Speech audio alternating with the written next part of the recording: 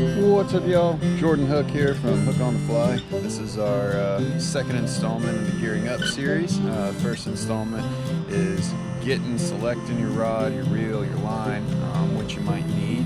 Uh, so assuming that you have all that now, um, this is going to be a very short video about how to put it together, um, mostly because uh, the hardest part is, is getting your reel put together and that's already uh, put together here.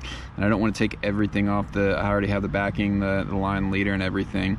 Um, so what I'm actually going to do is kind of explain through it a little bit but then include some links in the video about what knots to use and um, and how to uh, to assemble everything on your reel. Um, but y'all go to your fly shop. Go to your local fly shop and get it done. It's it's usually what i do. Uh, you got to buy the stuff anyway so go in there um, get their uh, get their opinion on on what would be good for you and the waters you're going to be fishing and then um, get your stuff there because they'll put it on for you. They'll spool uh, your backing attach it to your line um, put your leader on. They will get you all kitted out uh, for free at your local shop. Um, you just go in there, talk to them, get the stuff you're going to get anyway, and uh, and get stoked, and they'll get you taken care of. So that's what I would recommend for assembly first of all. Um, but if you want to do it all yourself or your local fly shop's closed, um, I'm going to teach you a little bit today, and then uh, drop some links uh, in the description um, if you want to get more in depth on knots and things like that for uh, assembling your reel. Um, but the first thing is going to be rod assembly. Uh, so if we take our rod, I've got a four piece right here. Um, and we got, if you look on there, on the on the end, the the ferrule there, uh, that's what these are called, the joints, F-E-R-R-U-L-E, I believe they're spelled, the ferrules. But uh, there's a dot there. And that dot is there for a reason because there is a corresponding dot on, where are you? There you are right there on the next piece. So all you do is you take that piece right there, you slide it down there until your two dots match up. See if those match up. Eh, close enough. There we go. Yeah, there we go. Perfect. Uh, yeah, and that's all you do all the way up. You just keep doing that, and as you go up uh, to the next piece there, uh, there will be another dot, and then you will line that up as well. And uh, keep continuing all the way until your rod is assembled. Okay, so now we've got our rod uh, fully assembled here. Uh, so the next thing we're going to work on is the reel. Um, now for the reel, uh, it's going to come apart.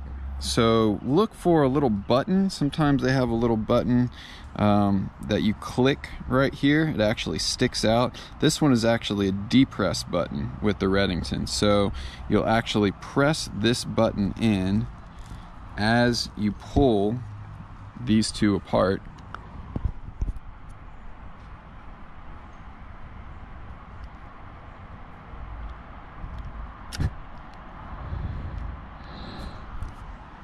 and that's what we got. It comes off in two pieces and that way you'll be able to wrap uh, uninhibited here.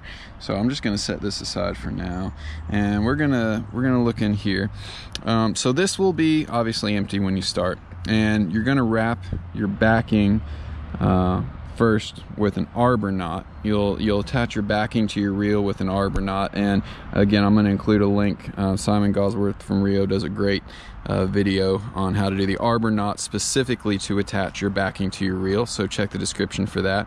Um, and then uh, you can use an Albright knot I'll also drop another video link in the description for an Albright knot specifically to attach your backing to uh, your fly line. So assuming that you have wrapped your backing onto your spool here um, with the arbor knot and then you got the Albright knot to attach the uh, the backing to your fly line um, now you're all wrapped up and you can put it back together again because we'll do the leader last all right guys, now we're ready to attach our leader onto our fly line here. Um, I'm just using a piece of twine. Uh, hopefully it's a little bit easier for you guys to see um, when we attach it. But uh, most leaders and most fly lines nowadays are gonna come with a loop already tied in the end of each. Um, it makes it a lot easier and uh, I'm gonna assume that your fly line and your leader uh, both have loops in them already. If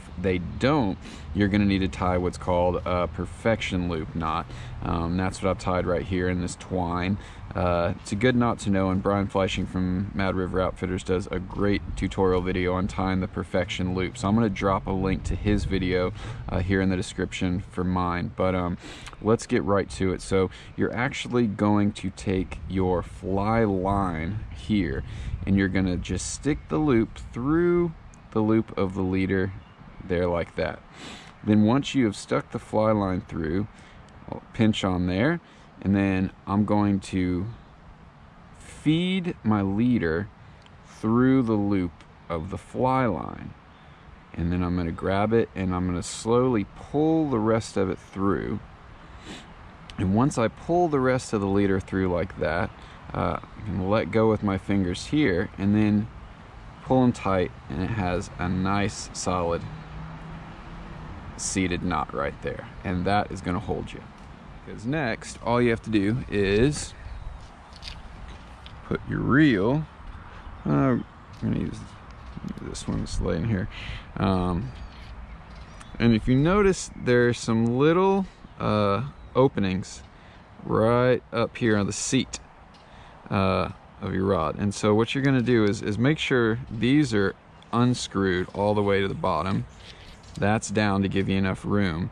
And there will be a corresponding there'll be a corresponding uh, opening in this bottom piece and there's an opening in the top right there. So those are what you want to line up. And first of all, remember you're going to be fishing like this and I'm right-handed, so I'm going to hold the rod in my right hand and reel with my left.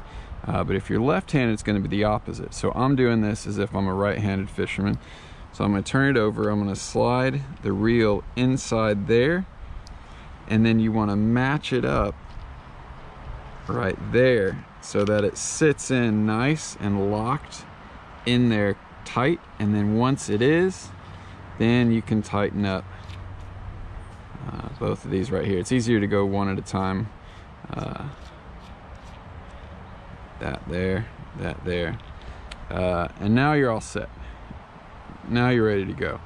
Um, so next video we're going to talk a little bit about uh, flies and then we're going to talk in the next video uh, about accessories. Um, but now you should be fully assembled. Again uh, hope this helped out um, and definitely check out the links below uh, by those that know a lot more than I do. And get in your local fly shop. Uh, they'll be super stoked to uh, to help you out and get you set up and uh, get you out on the river. All right I'll see you guys next for getting geared up